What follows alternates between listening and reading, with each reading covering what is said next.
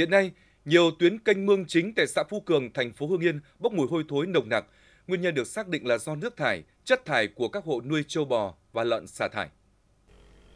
Gần 3.000 mét kênh mương chính của xã Phú Cường thường xuyên bị đen đặc, mùi xú ế bốc lên khó chịu.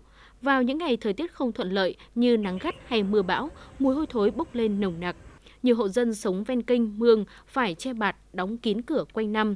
Thực trạng trên đã diễn ra trong một thời gian dài.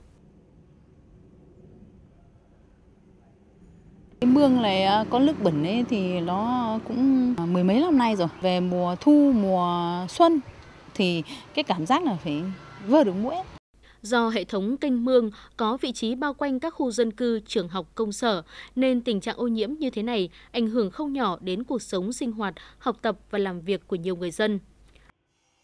Tôi cảm thấy rất ô nhiễm môi trường, mùi nó rất hôi thối ạ, rất hay bốc vào trường. Con kênh của xã à, nó không phải là kênh nước bình thường mà nó là kênh nước thải. Hàng ngày các em phải tiếp xúc với cái bầu không khí ô nhiễm. Xã Phú Cường có 1.650 hộ dân, trong đó 85% số hộ chăn nuôi trâu, bò, lợn.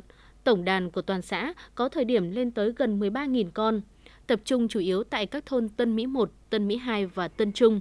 Việc các hộ chăn nuôi chỉ quan tâm đến tăng đàn trong khi chưa có giải pháp xử lý triệt để chất thải, nước thải trong chăn nuôi, dẫn tới tình trạng ô nhiễm môi trường là hệ quả tất yếu.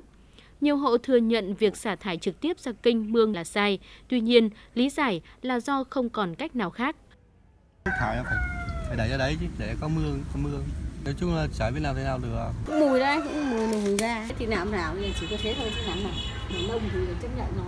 Được biết, gần 800 hộ chăn nuôi của xã đã được hỗ trợ kinh phí làm hầm bioga. Tuy nhiên, nhiều hộ chăn nuôi không đầu tư chuồng trại khép kín, thể tích hầm bioga chưa xử lý hết khối lượng chất thải, nước thải, nên việc xả thải ra kênh mương hiện nay vẫn diễn ra. Trước đây đối với ờ, địa phương là xử lý rác thải chăn nuôi thì về các hộ ấy thì còn chưa có điều kiện để làm xây hầm khí bioga. Thế và à, về các cái quy định của địa phương ấy, mặc dù đã triển khai nhưng đối với nhân dân ấy, về chấp hành ấy, thì phần nào vẫn còn hạn chế địa phương cũng là bằng cách là uh, tuyên truyền vận động nhân dân làm sao là cái việc mà xả thải ấy là trong cái nuôi ấy, là phải qua hầm khí bioga tổ chức là khơi thông rồi lạo vét mương máng hồ ao Bên cạnh việc nâng ý thức, trách nhiệm của các hộ chăn nuôi về lâu dài, địa phương cần đẩy mạnh tuyên truyền, vận động các hộ chăn nuôi xa khu dân cư, phát triển kinh tế gắn với bảo vệ môi trường.